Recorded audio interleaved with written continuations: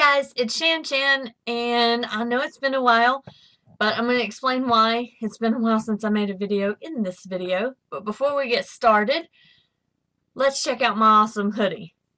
So this is my Star Wars premiere hoodie that my husband got me. Um, it's kind of like my birthday present. And if you check out the back, let me take it off. On the back, it says the Star Wars saga continues, and it has a list. Oh, you can't really see that very good, can you? It has a list of the previous movies, and it's really, really freaking soft. I love this jacket. Um, it's remarkably warm considering how thin it is. Where's my armhole? I've lost my armhole. And it has one of my favorite must-have items in a jacket, which is the thumb holes. This is like my comfort thing. It's like sucking my thumb version. I don't know. It's just super comfortable. Okay, so now to the contents of this video. Why I haven't made a video in so long. Well, a lot of things have been going on. My kitchen, which you guys saw my video of it being remodeled um, is finally done. And then on top of that, a couple of things have happened. My father-in-law got married. My grandmother had a stroke and went to the hospital. And me and Varian uh, have been working on our business that we have um, and our videos and our blog and our website and our YouTube and so that has taken up a lot of the time that I was previously working on these videos.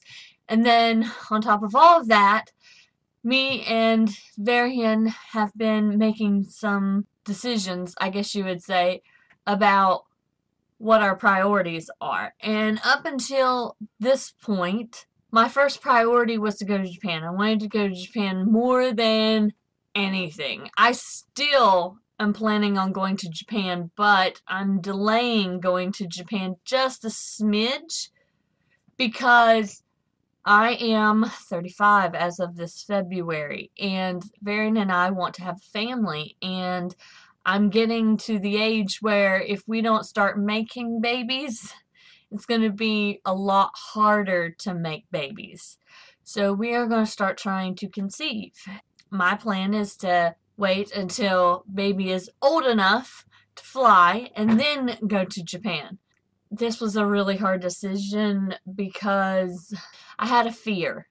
I had a fear that if I had a baby that I would not go to Japan, that I would let myself get caught up in the routine of everyday life and I would forget to take active steps towards Japan, that I wouldn't be able to put the money back to go to Japan, that I would let my Japanese go and stop learning, that I would essentially just get wrapped up in the day to day and never get around to it.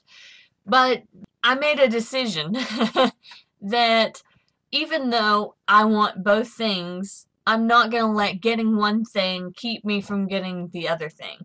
I am just as determined to go to Japan. I am just as determined to keep up with my Japanese.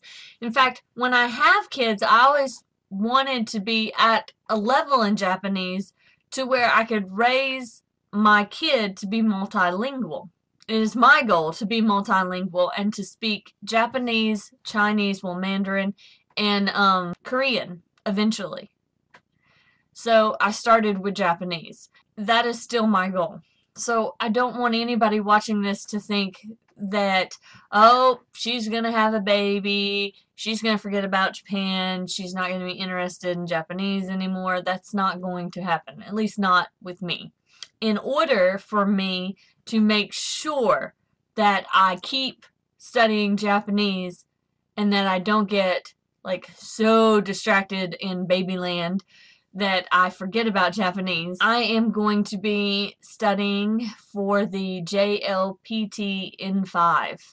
I don't know yet if that is the right level for me. Like, I don't know if my capabilities are at an N5 or an N4 level, and I know that the JLPT kind of like restructured, and so I really am not sure where my level is right now.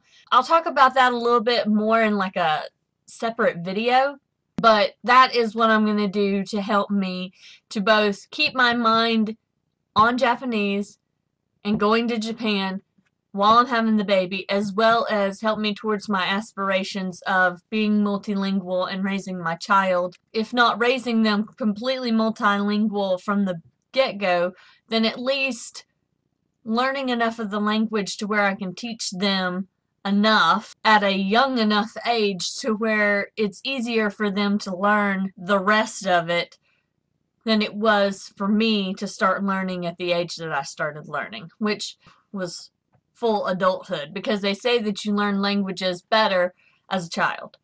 Yeah, I think that's everything that I wanted to tell you guys for the moment. Just uh, keep your eyes peeled for more videos. Okay, until next time, bye-bye!